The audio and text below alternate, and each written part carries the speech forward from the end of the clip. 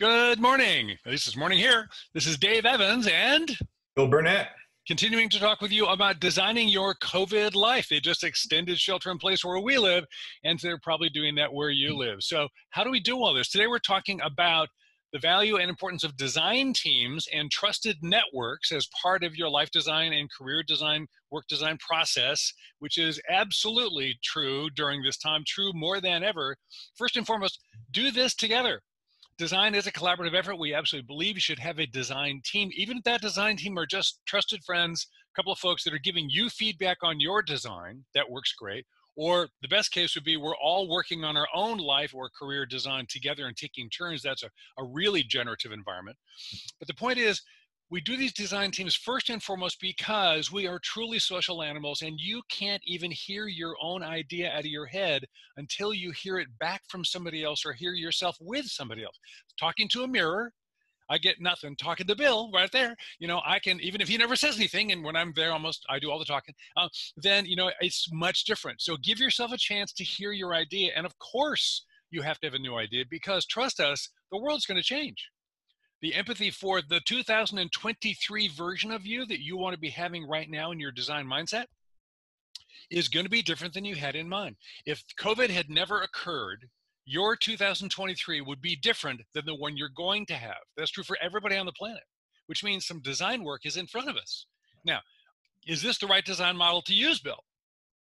Yeah, absolutely. I mean, you know, we have to, um, you know, one, one of the things is, uh, Dave mentioned, you can't hear yourself uh, when you speak, just speaking to yourself in your own head. And in order to discern, discernment, knowing ways of knowing with more than just your cognitive ways of knowing, you've got to find other people to bounce your ideas off of. And that's also where you get more ideas and more creative ideas.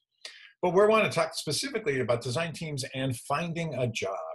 Some of you may have, um, you know, maybe in a situation where your company's fine, everything's going along just great. Some of you may be in a situation where, you know, unfortunately, uh, the job you had was gone so how are you going to find a new one, particularly in an era when you uh, you can't get out of the house, you can't go have that coffee with people that we keep talking about? Well, there's two ways of finding a job. We, one is the the transactional way: go to the internet, find listings, send in the resume, get no answers. And the other apply is for everything. Apply for everything. And the other one is what we call the relational way, where we where we use our trusted networks to discover uh, the four out of five jobs that are never listed. So relational versus transactional, of course, we're always pushing relational. And we believe that in the era of COVID and everybody working from home and everybody on this screen, it's going to be easier than ever to activate a trusted network. Not only easier than ever, more important than ever. Because the, you know, you say if you just walk up and somebody thinks you're looking for a job, I mean, you know, 97 times out of 100, hey, do you have, you know, could we talk about a possibility of me joining this company? You got some openings. No, mean, you hear no right away. Why? Because you're asking that person for something they probably don't have, which is a job to give you. Even if the company has a job, that person may not. But you walk up and say, "Well, hey, tell me what it's like, you know, teaching remotely nowadays, uh, Bill. You know, you're doing a lot of remote teaching. We could talk about, you know, what's it like to work in the academy." He's got that story to tell. When you ask for a story, everybody has one. That's why seven out of 10 times we think you could successfully land one of these conversations. Very few people have a job to give, especially now. Some companies are hiring, most aren't. Um, so now more than ever, if you ask for the transactional conversation, you're going to get a no. If you ask for the relational conversation, because they're stuck at home like you with Zoom turned on, your chances are really, really good. So now more than ever, this is the approach you really need to do.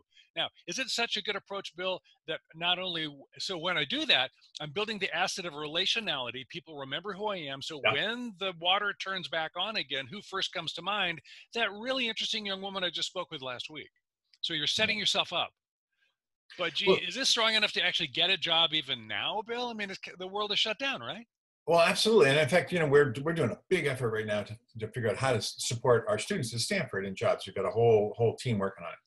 But you know, here's a perfect example. I was talking to the exec, an executive, a very high up executive in a very very large technology firm, and I said, you know, uh, I was I noticed on your website that all jobs are on hold. Is that true? And he said, yeah, corporate wide, we're, we're, we're to, you know, hire the people we said we were to hire because we're an ethical company. But, but overall, you know, because it's so uncertain right now, our business isn't bad, but it's, we don't know which, which way it's going to go. So we said, we got a global hold. And I said, well, is that really true? He says, well, No, actually, there's a couple of exceptions. We still have a very strong diversity hiring program going. If you had a diversity candidate, I would take that resume and put it on the top of the pile and I get an exception. I said, well, I just happen to have this young woman that is one of my, you know, one of my students, and she's really excited about the kind of opportunities that might be at your company. Could she apply? And the answer is yes. Without that conversation, if you just went to this massive company's website, you'd say they're not hiring, and that's not true. And our experience in talking to lots of executives all over, not just in tech, but all, all sorts of industries, is right now it's kind of lumpy. You know, if you're in a big tech, if you're in a big tech company or you're doing something that, that has anything to do with remote working, you're booming. And if you're Airbnb or somebody's trying somebody's trying to you know run uh, run a hospitality or service business, you're pretty much dead in the water. So the, the, it's going to be even more important to rely on your relational networks to figure out where are the spikes and where are the valleys, where, where are the opportunities and where are the places that are just going to be absolutely dead for a little while. So use your common sense. You know, it's clear what industries could grow versus uh, industries are stymied for the time. I'm not. We're not saying, by the way, you probably want to suddenly go work in an industry you don't want to be in. This isn't going to last forever. So, so use your time well. But the answer to the question is, can I break through the COVID barrier? The answer is no but powerful people can pull you through it. You can't break into it, but they can pull you through. And the only reason they're going to pull you through is they think you're interesting. And the only way they found out you were interesting was you had a life design conversation with them, a life design prototype uh, or an informational interview that started that process. And do you know which person has that exception? Do you know which company's doing it? No, you don't. So what do you do? Let the numbers work for you. Have lots of conversations. Hey, what else are you going to do? It's a productive way to spend your time. Okay, design your COVID lives. Take care. Thank you very much. Bye bye.